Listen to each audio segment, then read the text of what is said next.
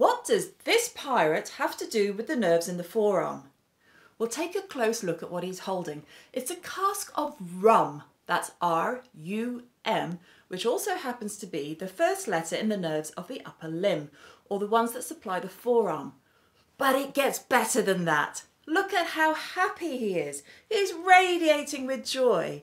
And the word radiating reminds me of the word for radial nerve. Now look again at the picture and you will see that the sun is shining and it is in fact the middle of the day. And another word for middle is median. So the M in rum is for the median nerve. Finally, try to imagine that the pirate is holding up his bottle of rum with an arm that is full of scars from all the pirate battles. It is all distorted and gnarled.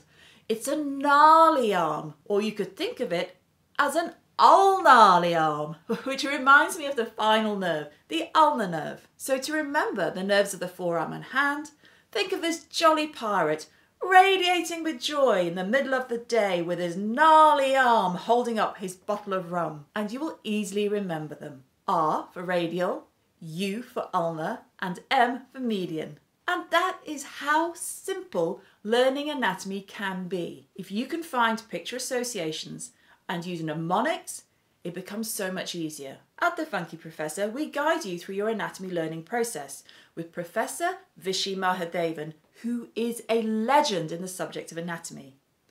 We use lots of learning materials such as worksheets and I also do regular bonus videos myself to really boost your knowledge. In fact, why don't you try out one of my tutorials now by clicking the link below to find out how these fingers will help you remember the quadrangular spaces.